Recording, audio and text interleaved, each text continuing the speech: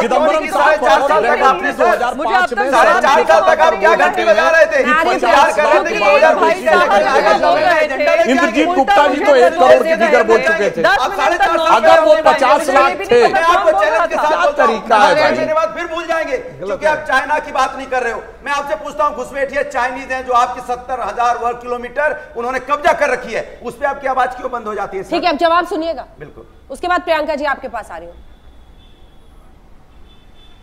अब जवाब दे दूँ? हाँ बिल्कुल। अब जवाब दे सकता हूँ। हाँ बिल्कुल। स्टैंड क्लियर कीजिए। ऐसा है भदौरिया जी पाप जानते क्या होता है राष्ट्रीय पाप? हाँ, क्या? जब सन बासठ में पूरा अक्साई चीन कब्जा कर लिया तो नेहरू जी ने सदन के आप- पे आप खड़े होकर 2014 कहा, एक एक करके प्लीज़ मिस्टर भदौरिया नहीं प्लीज़ था अरे सेना पूरी शहादत देकर जंग जीतती गई। मिस्टर भदौरिया। उन्हें 48 की लड़ाई पैंसठ की लड़ाई इकहत्तर की लड़ाई और सब आप समझौते की टेबल पे हार गए। अठारह संतावन भी चले जाइए काय को अठारह संतावन छोड़ दिया आपने। अठारह संतावन चले जाइए प्लास्टिक के भी चले जाइए लेकिन दो हज़ार चौदह से अठारह के बीच में नहीं आना सर छोड़िए। क्योंकि जनता आपसे हिस्सा मांगने को तैयार है जो आपने वादे किए थे। एक एक वादा आपसे हिस्सा मांग रही है। घुसपैठियों पे आपकी क्या नीति है?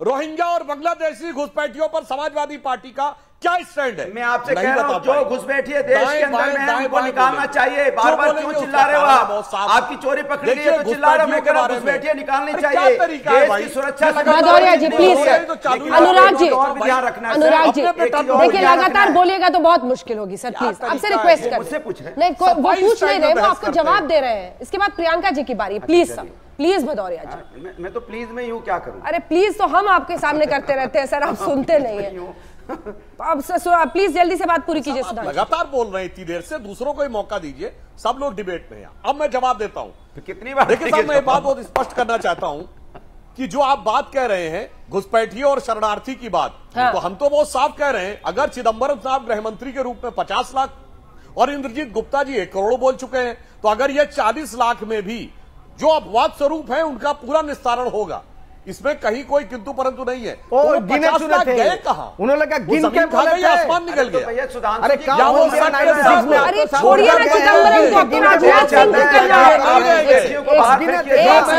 भदौरिया जी, भदौरिया जी, द्वारा गए आंकड़े की बात देना नहीं और मनोज जी भदौरिया जी, से पूछिए इसमें भदौरिया जी, जिन नकली लिस्ट आसाम निकल के गया। लोगों के बारे में तिब्बत के लोगों को किस स्टेटस में रखा हुआ है भाई उनको शरणार्थी आपने बनाया हुआ है ना? के तो आपने उनको स्टेटस वोटिंग करने करने दिया को कहा गया। और उसको भी तय करना पड़ेगा जी, पे रह रहे अच्छा सुधांशु चालीस लाख जी, पूरे जो क्या ग्राम पंद्रह के लाख बाकी भदौरिया जी, चक्कर में आ गए। आप- भदौरिया आप- जी, आप- लगातार मत बोलिए। बंगाल के लोग प्लीज़ तैयार लगातार मत बोलिए जाइए। आज सरकार का मैंडेट सुप्रीम कोर्ट की गाइडेंस के अकॉर्डिंग असम के संदर्भ में एनआरसी बनाने का है।